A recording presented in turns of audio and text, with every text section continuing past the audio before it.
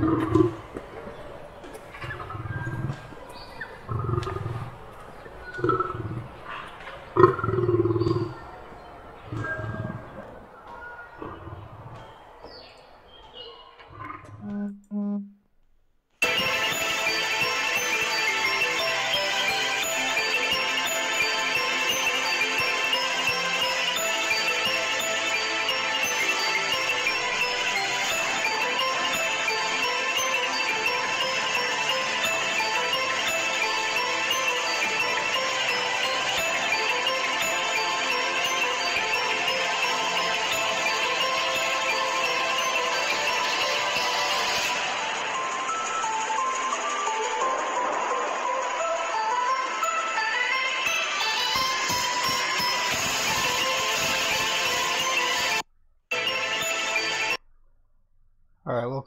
MMG.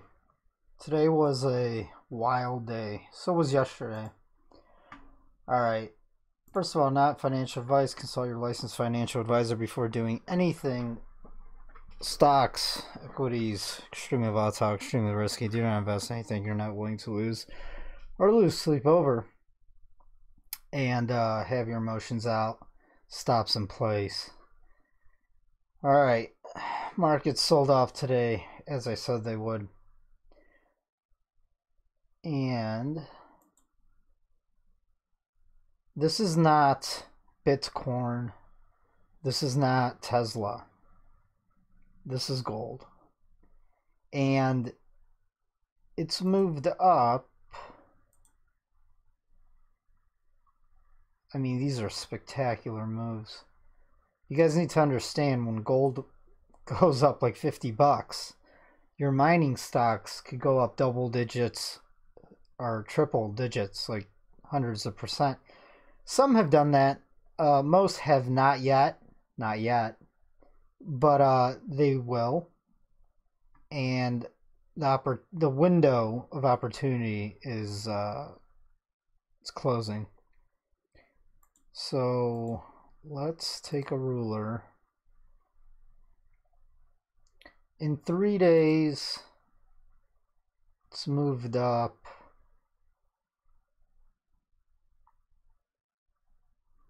About 3%, about $47. That's huge. In the past six days of trading, or let's do seven days, not exactly a week, right? But because the weekends don't count. It has moved up $86, 5.5% for gold. That's huge. $86.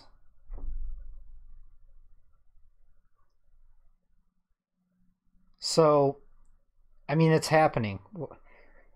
Nobody should should be surprised, right? I've been telling you guys this would happen. Now, I've been saying the Black Swan thing since January 20th. Uh, in the private group, everywhere all like in the groups, January 18th. So over a month now. And just now, people are starting to say the same thing. Maybe, yeah, some alternative people have started saying it like last week or whatever. Anyways, so that has come true. Um, the market is finally starting to price in the real risk. Uh, the consciousness is changing because people are starting to because it's not going away, right? This uh, COV, this uh, the sniffles are not going away, are they? I told you guys it's going to continue to spread globally. And it is. And it will continue. And it will accelerate. And the more it does, the more this bubble pops. Now, later on, they're going to, you know, come out, the PPT, and they're going to print money.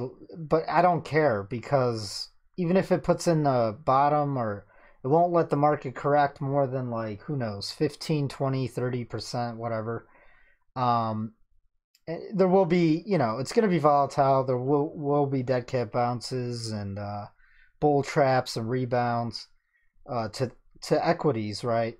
But as of right now, uh, it just started.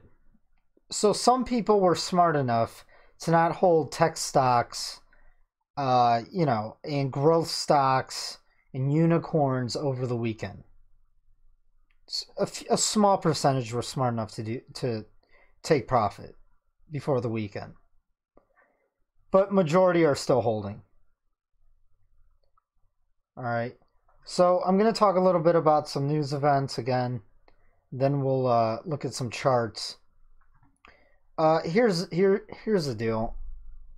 A lot of people are signing up, and because the price is so cheap, uh, I, I'm worried inexperienced people are signing up because I you know having a price tar a price at like 300 bucks keeps keeps uh, people from joining up who don't really have money to invest and to play in the stock market with. Like if you don't have if you don't have money you're willing to lose, then you're not supposed to be trading or investing. And it was a nice barrier to keep inexperienced people out. And I might have lowered the price too much because a lot of them are coming in. Also, as prices of metals keep rising and rising, once these uh, mining stocks really explode, they haven't yet, but it could happen next week. Um, I'm just going to close the private group because I don't want tourists and uh, FOMO buyers coming in at the last minute. And you know what always happens. They for some reason they wait till the last minute until they see everyone else making a ton of money. And then they come in and then they buy at the intermediate peak. And then it pulls back and then they get emotional and they lose it and then they sell and then it goes right back up. Um, and i don't want those i don't want to deal with those people. Uh, so i'm gonna have to close it. And i warned you guys for months that i, I would do that the time to buy was beginning of last year, two years ago. All right, but you know, no one listens to me when I tell them to. Um, or when I don't tell you anything, but when I give you guys my opinion and the possibilities, people, uh, for some reason, I don't know, they chose their lives. All right, so go to my website and this deal ends Sunday. Just add it to the cart. Click on it. It's normally 300, which is also a discount from 500. Yeah, add to cart. And for some reason, some people can't figure this out. If you can't figure this out, you, if you can't follow directions like this simple, do not join. It's not for you. All right, here's the directions to get into the private group. Here's one. Here's my last video, right? Like, here's the here's the description section. Here's the 60% discount link. Click on that. It's the only way you'll get the discount. Now, obviously, I really shouldn't have to do this, but I'm just gonna do it for now because um, I don't want to deal with people. But honestly, if you can't do this, then this isn't for you, anyways. Read all the disclaimers. You have to click yes, you have to read them. And the terms and conditions. You, you have to click apply discount code. It's right here. And then you check out. It's that simple. The next day, you will get an email and you follow the directions on there too and then i add you i'll give you the links to the private group but honestly guys it's only for people who have money to uh, risk and um, have at least some experience trading honestly i don't want to deal with a bunch of noobs uh, It's only ten dollars a month. Like I'm not gonna. I'm not your private secretary. All right. So let's go to the newsroom. So there's a lot of people who like always just go into one of the chat groups, but none of them go into the newsroom. And then they the next day they post things that I've already posted in the newsroom, and it's really annoying. Also, the link's in there too. Go in the newsroom if you're going to join the groups. So, uh, the title's different on this when you post it. It's because of uh, censorship or whatnot. Listen, CDC warns COV coming to US. Tremendous public health threat. It's a good article. If we look at these, well, hold on. Uh, China, key manufacturers ramp up output, output. But that's if you actually read the article, that's exactly they're trying to do that, but they can't. Because every time someone gets, they open up the plant, there's going to be people who have it, and then they have to literally quarantine the people in the plant or remove them, and then, you know, it's a mess. And other countries around the world are no longer uh, they're looking for alternatives already world must act fast to contain the cov and that came out of geneva like the number one health facility for the w i don't want to say it for the who um, what else? Stock market finally is um, considering the long term implications of uh, the entire supply chain being shut down, and um, and now there's a bunch of strategists coming out. They're saying the markets have peaked. Like they're freaking brilliant, right?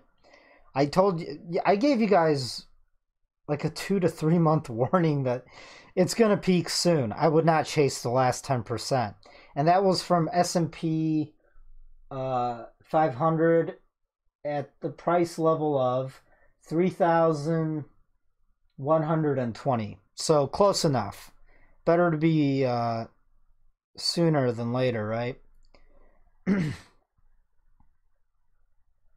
uh, existing home sales are falling still. E- economic indicators are just weakening.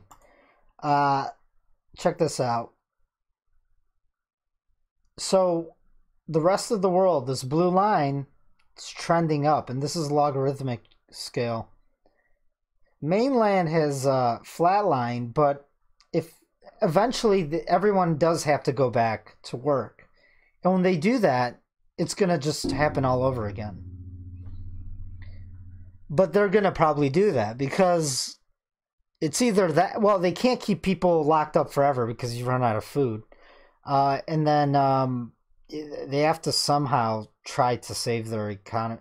Like I said, the combination of the COV and uh, your economy imploding is like an apocalyptic event.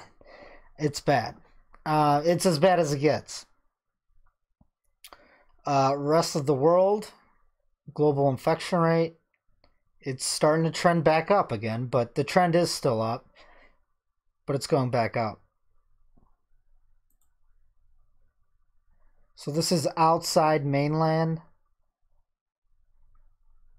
Uh, fatalities going up. Recovered. I mean, it's been going up. We'll see if uh, that. I mean, that has to go up. If it doesn't, then don't worry about anything, because uh, it's nice knowing you guys. Um, confirmed that's still going up.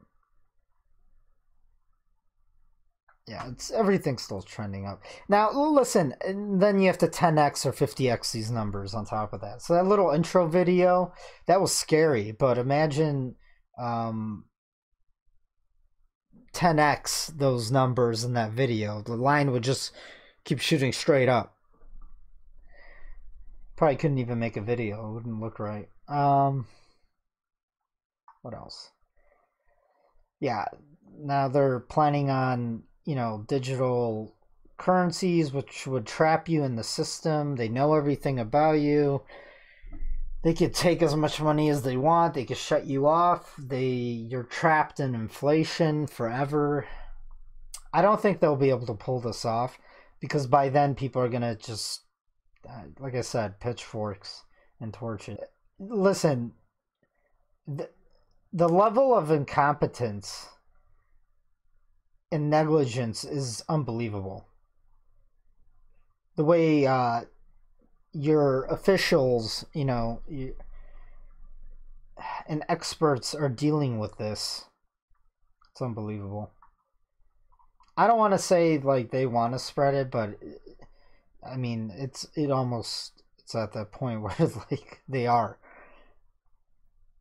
And then people are starting to take things into their own hands. Like if you have it, they won't let you in their town. They won't let you in their country. Stuff like that. So what else news going on? WHO narrowing window to contain outbreak. Oh shit. I said that a month ago.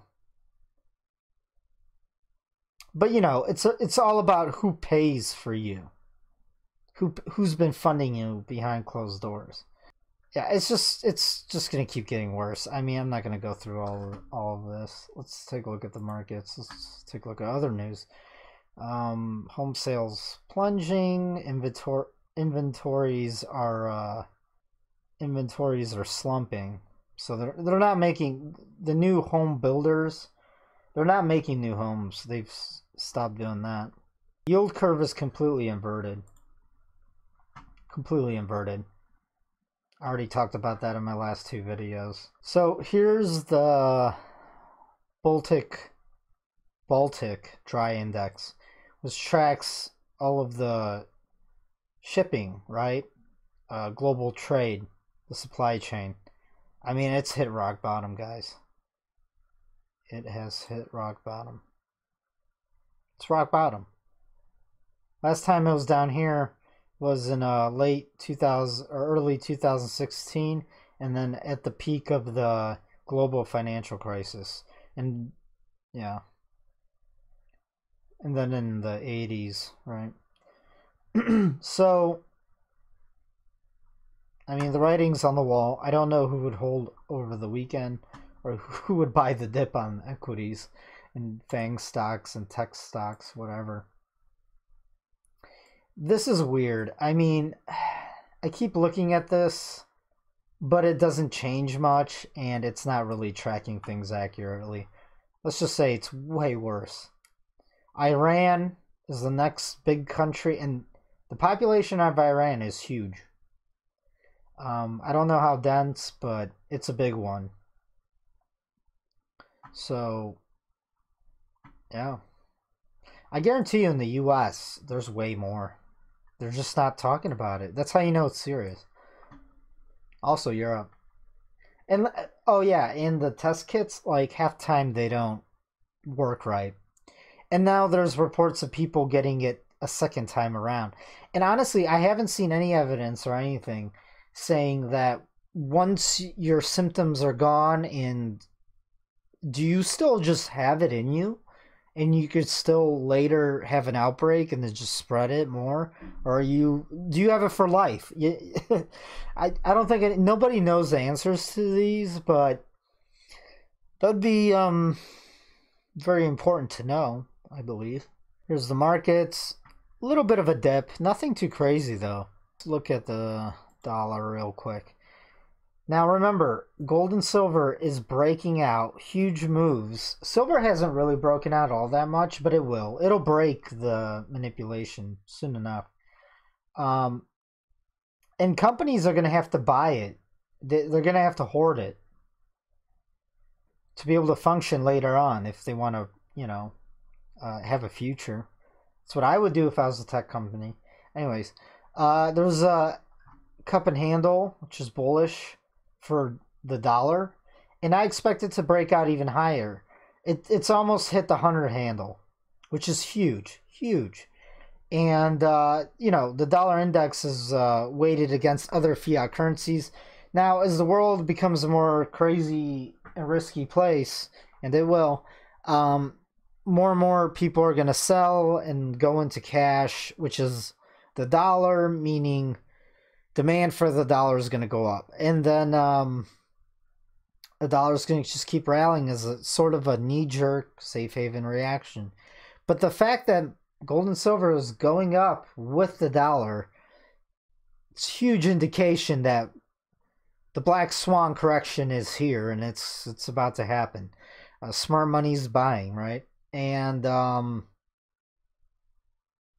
that that just shows you how bullish and powerful metals are right now.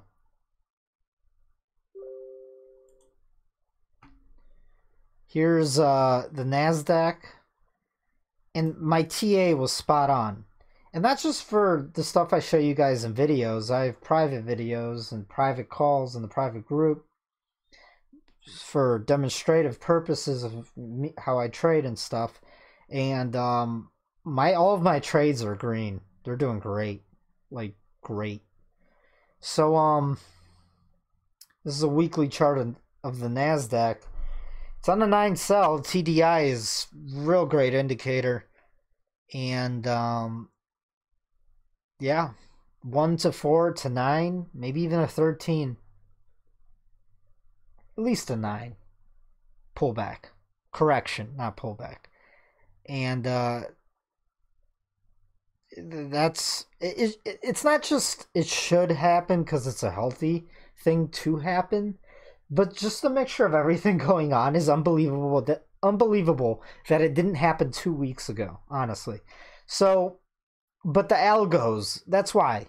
It's because there's too many computers trading, and you know computers aren't paying attention. One of the guys in the comment section said that in my last video, which is he's absolutely right. Uh, a revert to the mean back to the 200 week moving average would not surprise me, and that's a huge drop lot of lot of money to be made. These are like the biggest opportunities ever, like life changing kind, especially for experienced uh, traders. Here's the FANG Index. It's on a seven count, but it's already you know losing momentum. Probably won't even make it to a nine count on the daily here. Has a long way to drop, guys, on the daily. Even on the daily. Back to my blue line, Equilibrium, revert to the mean, 2700. Here's Apple. Here's all of your trillion dollar companies. They just started correcting, guys. Like nothing, but right now it's not even a correction or anything. It's just a dip. And metals went up that much. And short positions are, you know, depends if it's leveraged or it's an option or whatever they're really in the green. With well, if you got the timing right, right? I got the timing right, like very, very perfectly right. Um, not that I'm always going to be able to do this. I'm there's going to be a time I'm going to be really, really wrong, and uh, there's no way you could always be right. Uh, a part of trading is having a nice ratio of wrong trades and right trades. If you have a 70% ratio, you're like a god. That means 30% of the time you're wrong. So 30% of your trades are going to lose you money, 70% make you money, right? That's why I cut my losers short, let my winners ride, and the the winners pay for the losses and then some. When it comes to trading, that's my strategy. Russell 2000 is actually holding up the best, even though it's never made new all time highs or anything. That's because it's domestic stocks. So when you look at the FANG and the, the FANG index, those are internationals. All of their products are made in uh, China, right? So they're going to suffer first. And the domestic companies are going to as there's rotational investing so you get out of one sector go to another. So if you get out of the internationals go to the domestic companies that's sector rotation. And uh, that's what the russell is that's why it's going up. Is uh, why the, it's the only indice going up. But this probably won't last for the russell either. It once um, the cov starts breaking out in the us right it's gonna hurt everyone. Um, including mining stocks eventually. I just hope this thing could hold off and the heat could slow it down so we can make it through summer without like I don't know, you know, Mad Max scenario. Um here's financials, they're starting to get hit. By the way, there's a run on the banks in China right now happening. There's a video video in my newsroom. Uh, here's the transports. This should be much lower, but you know, once it breaks this support at about 10,100, 200, down she goes. I'll take the rest of the market with it. Here's the FANG index, the weekly. It's on the 9 sell, like I said in my last video. And it's it's just starting to be priced in. If you go to the daily, it's on a 7 count, just like, yeah, so... Now here's the thing, uh, gold is on a 9 sell for the daily, but it might be ignored, especially if the markets open Monday and sell off. So it, it all depends this weekend what comes out in the news.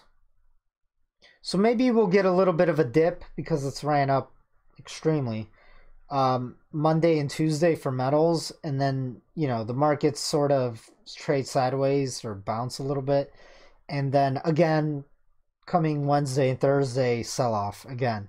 This is kind of um, you know this is actually normal in the markets because a lot of people don't like holding over the weekend. Uh, but you know what? You never know what could happen over the weekend. I'll keep uh, the private group members updated TA wise Silver, look at this. Silver is being manipulated, guys. This is how they're keeping a cap on gold by manipulating silver. When this breaks, when it breaks on silver, I'm telling you, you're going to see moves you won't believe. Now, here's the thing uh, the mining stocks, they're every quarter you get earnings reports, right? And they're just going to be better and better and better and the balance sheets are just going to fix themselves well not fix themselves but they're going to look better and better. And it's pretty obvious that gold silver and the mining stocks is, is going into a bull market and more and more of wall street's going to rotate into uh, sector rotation right? Into the mining sector.